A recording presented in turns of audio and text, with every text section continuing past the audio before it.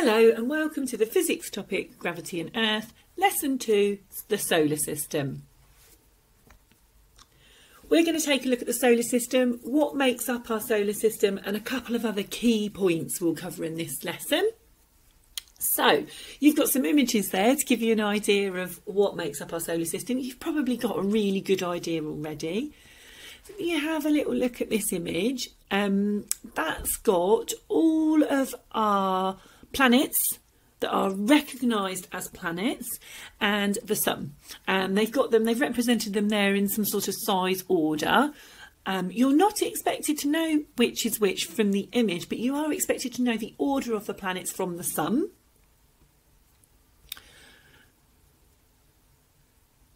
And you are also expected to know what makes up our solar system. So obviously there is the sun, there are planets. You've got moons around those planets. Sometimes there's more than one.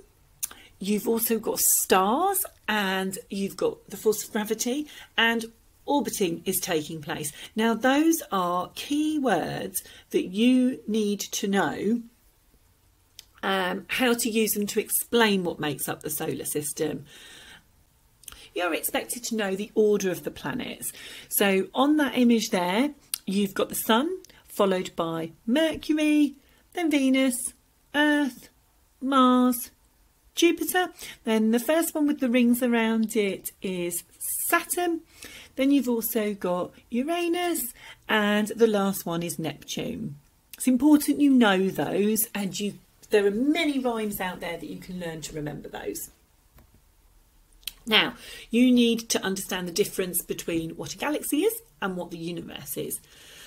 So, very simply, the galaxy is a huge, large collection of stars, and then there are billions of galaxies that make up the universe. We are part of just one galaxy, and our galaxy is known as the Milky Way. Now, the Sun and the North Star are just two of the stars that we have in our galaxy. They're the ones that we would common, commonly talk about. Okay, so galaxy is the collection of stars. The universe is a collection of those galaxies. All right. Now, a measurement you need to be aware of, and that is what is a light year. Now, a light year is a measure of distance and it's how far light has travelled in one year. So the light year can then be used to measure huge distances, so distances between planets and stars. It's worked out that one light year is 9.5 million million kilometres long. Okay, so you've got quite a few bits of information there, but you need to be clear on the order of your solar system, what makes up your solar system, what a galaxy is, what a universe is, and what a light year is and what measure it is. And we will see you again very soon for lesson three.